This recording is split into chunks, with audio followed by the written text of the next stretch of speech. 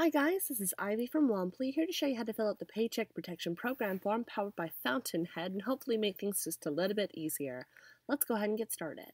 First, you're going to go ahead and enter in the email address that you put on the previous Womply page directly into the box as shown. Then, we're going to go ahead and click this bright blue box that says Get Started. It's going to take you to a page that looks just like mine, where it's going to ask you to check your inbox. What it's going to do is it's going to send a temporary password code directly to the email that you just went ahead and entered to make sure that it is in fact valid. Once you enter in that code, go ahead and click Continue. It's going to take you to a page that looks just like mine, where it's going to ask you a question. Have you already had a PPP loan, or did you not fill out a PPP loan before? In my particular case, we're going to go ahead and click No Previous PPP Loan. Now it's going to ask us a little bit more. It says loan eligibility. So we're going to have to check the eligibility or we can go ahead and skip ahead if you do know your payroll and eligibility amounts. So for our case, we're going to go ahead and click check eligibility just to be able to help us with our math. So loan eligibility, it's going to start by asking you a whole bunch of questions. So first, was your business in operation on February 15th, 2020? Yes or no? Was your business in operation for all of 2019? Yes or no? Is your business a seasonal employer? Yes or no? Does your business employ people besides the owners? Yes or no? How many people does your business have? You're going to enter in the total number of employees that you have at your business.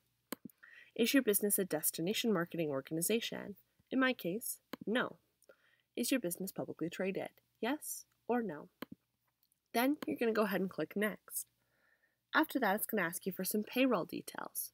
So starting at the top, we're going to enter in the values based on the full time period of your choosing. You have a couple of options. You can enter in all the information for 2019, 2020, or just the last 12 months. In my case, we're going to click 2019 because that's going to make things just a little bit easier. So first, we're going to enter in the total payroll, including the owner compensation. Next, we're going to enter in the total payroll amount that includes the, uh, the benefits and taxes. If you have not, go ahead and click no. If it does, click yes. In my case, it's a yes. Next, this business is a farm or ranch according to the Economic Aid Act. In my case, no. Then it's going to ask us for some information about employee details. So first, number of employees as of 2-15-2020. 250 some of these employees are located out of the United States, yes or no. Some of these files, uh, these employees will file a Form 1099, yes or no. Some of these employees are paid more than $100,000 a year, yes or no.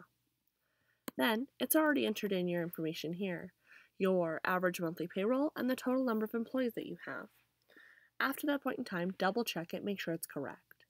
Next, do you wish to refinance an economic injury disaster loan? Known as an EIDL loan that they filled out last year into this PPP. You're going to click yes or no. In my case, we're going to go ahead and click no. Then last but not least, before continuing forward, your business, including affiliated businesses, must meet one of the conditions. Do you have more than 400 uh, than 500 employees, SBA alternative size, or industry size? In my case, because it's 250, we have no more than 500 employees. After we filled out all of this information, it's going to show you the amount that you could potentially qualify for in the EIDL, uh, including any EIDL amount and what your PPP looks like. Then we're going to go ahead and hit next. As you can see, it keeps track of your progress over here on the right hand side. So we're going to continue to be able to fill this out. Now it's going to ask us for your business information. So first, we're going to enter in the business legal name. If you have a DBA or do business as or a trademark name, all you have to do is click DBA and then enter in the DBA as shown. Next, you're going to enter in your business phone number. This way, again, they have a valid way of being able to reach you in case they have any kind of questions, comments, or concerns, and it makes the whole process a whole lot easier. Last but not least, it's going to ask you for your address, city, state, and zip code again so that they can val uh, validate all of the information on file for this particular business and ensure that we are talking to the correct person. San Francisco, California, and then our zip code 94104. After you've entered in all of the information directly here on the page, go ahead and click Next. After that, it's going to ask you for some more business information. So first, it's going to start off with your industry NAICS code. If you don't know what your NAICS code is, that's totally okay. This is a number that allows the government to be able to classify you based on what you actually do. If you don't have that number or you don't know what that is, go ahead and click to find your NAICS code, click here. Once you have that number, you're going to go ahead and enter it directly into the box as shown. Next, what's your business legal structure? There we go. Make sure that it actually matches just like that. What's your business legal structure? Now you're going to go ahead and you're going to find the option based on the drop down that fits you and your particular business. In my case, it's an S Corp. Next, we're going to fill out just a little bit more. So your year of establishment. In my case, we're going to scroll all the way down to 2012. We're going to go to February 1st, 2012. Make sure that you get that right to the best of your knowledge. Next, you're going to enter in your employer identification number. Again, this is the number that we use to find you in the system that identifies you for tax purposes as this is a tax-based loan. If you don't have a uh, business EIN, go ahead and click this box and it'll ask you to enter in a different set of information. Last but not least, is this business a franchise? Yes or no? Go ahead and click the applicable answer. In my case, no. Then we're going to click Next. Almost done. Now you're going to enter in the ownership information. This is required by the government for your paycheck protection application and it's based on your SBA form 2483. So we're going to go ahead and enter my name, last name. If the owner is a corporate entity, please click this box so you can enter in the applicable information. The email address. This is going to be the primary email address used on the account. That way they have a better way to be able to contact you. A phone number so that they can get in contact with you in case they have any kind of questions, comments, or concerns. Your job title. Your date of birth.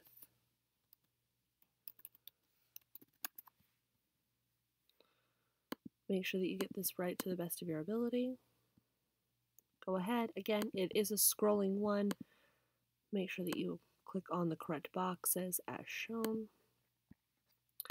Then you're going to add in your tax ID or SSN. As always, any and all information that we show you guys directly in a video like this is um, using dummy numbers to be able to give you guys an exact idea of what this is supposed to look like.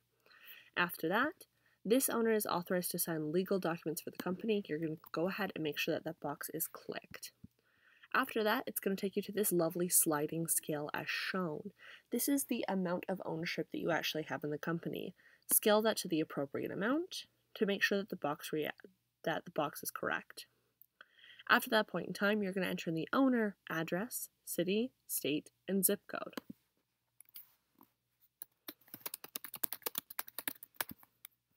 San Francisco. Just make sure you enter in that state code, just like I showed you guys on the previous page, and then your zip code. If you have the business address, or if it is in fact different, go ahead and click Use Business Address. After that, it's going to ask you for some voluntary self-identification. This is optional, however, we do recommend filling out all portions of the application. So, it's going to ask you for your veteran status by clicking on the drop-down, your gender by clicking on the drop-down, your race by scrolling through what is actually here, and your ethnicity to make sure that we can have the best information on the loan. If you have more than one owner in your particular business, please go ahead and click the blue button that says Add Owner. It'll take you through the same steps that I showed you here to be able to fill out my information. After you have all of the information for every owner applicable for the particular business, go ahead and click Next. Takes a couple of seconds as it's going to go through and validate your information and ensure that everything is correct and up to date. Please don't refresh the page, please don't re-scroll, and please don't try to resubmit it. We want to make sure that this is as easy as possible. We're almost there. Now it's going to ask you for government declarations. So, Starting at the top and working our way down. What is the purpose of the loan? You're going to click everything that applies. In my particular case, I am only going to click payroll costs, but this PPP can be used for everything from payroll, utilities, property damage, worker protection, supplier costs, etc. Please click everything that you're going to be using to be able to fill out this the application. Next, is the U.S. the principal place of residence for all employees included in the payroll calculation for this business? Yes or no? Do the owners of the business own any other business? Yes or no? In my case, we're going to go ahead and click no. Did this business receive an SBA Economic Injury Disaster Loan between January 31st and 2020 and April 3rd, 2020? Yes or no? Is this a, is this business a franchise that's listed in the SBA's franchise directory? Yes or no? Then go ahead and click Next. These are a couple of mandatory qualifying questions. If any of these are answered yes, the loan will not be approved, but please make sure that you're answering them to the best of your ability. First, are any of the owners of the business debarred or excluded from this transaction by any federal department? Yes or no? We're going to go ahead and click no has the owner of the business, for this business or any other business that they own, taken a loan guaranteed by any federal agency that is currently delinquent or has defaulted in the last seven years? Yes or no? Is any owner of the business subject to criminal charges presently incarcerated or on probation? Again, yes or no. Please make sure that you initial to be able to certify this information is true and correct. Has any owner of the business been convicted of a felony involving a financial crime in the last five years, or been convicted of a felony, or been placed on probation or parole within the last year? Yes or no? Again, click your answer and initial to say that that is true and correct. We're going to go ahead and click Next. What it's going to do is it's going to finish this out with your certifications. This means that the authorized representative of the applicant must certify in good faith to all of the following below. So, starting at the top, that you were in operation on February 15th, 2020 and have not permanently closed, and that you were either an eligible self employed individual, an independent contractor, sole proprietorship with no employees, or had employees for whom it paid salaries or payroll taxes, or paid independent contractors as reported on your forms. Your current economic uncertainty makes this loan request necessary to support the ongoing operations of the applicant. I understand that loan forgiveness will be provided for the sum of the documented payroll costs, covered mortgage interest payments, covered rent payments, covered utilities, and covered worker protection expenditures, and not more than 40% of the forgiven amount may be used for non-payroll costs. If required, the applicant will provide to the lender and or SBA documentation verifying the number of full-time employees on the applicant's payroll as well as the dollar amounts of eligible expenses. The applicant has not and will not receive a shuttered venue operator grant from the SBA. The applicant is not an issuer, the securities of which are listed in the exchange registered as a national securities exchange under Section 6. You certify that the information provided in this application and the information in all supporting documents is true and accurate in all material respects. That you understand that knowingly make a false statement and to obtain a guaranteed loan from the SBA is punishable under the law, including all of these penalties and that you acknowledge that the lender will confirm the eligible loan amount using the required documents submitted, that you understand, acknowledge, and agree that the lender can share any tax information that you've provided with the SBA's authorized representatives, including authorized representatives of the SBA Office of Inspector General, for the purpose of compliance with the SBA loan program. Once you read through this, go ahead and click Next. Now it's going to give you some more certifications. So you're, what you're going to do is you're going to go through and you're going to add initial next to every single one of these. Just like we kind of went through what they actually all say, we need to make sure that we actually initial next to every single portion of the document. Again, where this is a guaranteed SBA loan, we want to make sure that we're filling this out as quickly and as efficiently as we possibly can.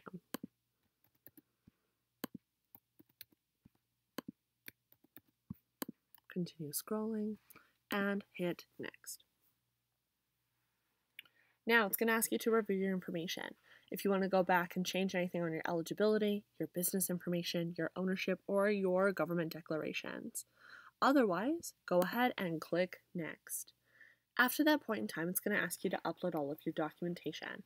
So, your entity documents if applicable, bank statement, driver's license, front and back, a canceled check, additional supporting documentation, your IRS Form 1090, IRS Form 941 for the last quarter, 2019 business tax returns, and an email wire document.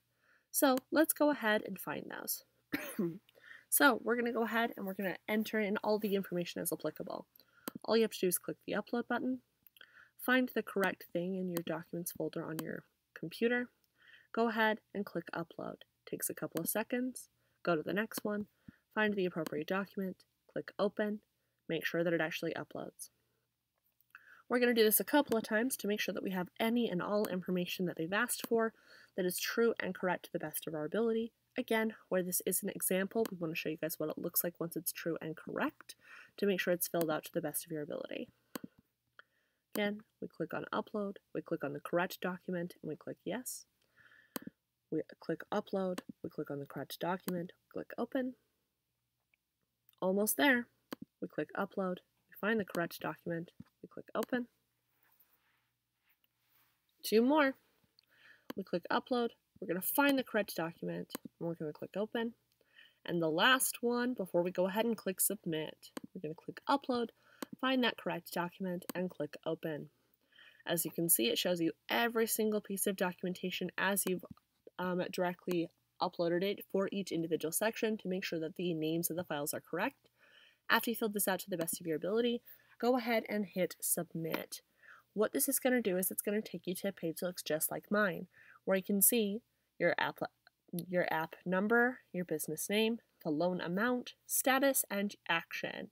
So any and everything that you need to do at this point in time, you're actually pretty good.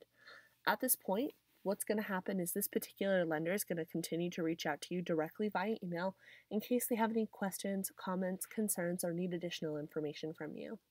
In the meantime, as always, if you have any questions, comments, or concerns, feel free to reach out to us directly. Thanks so much.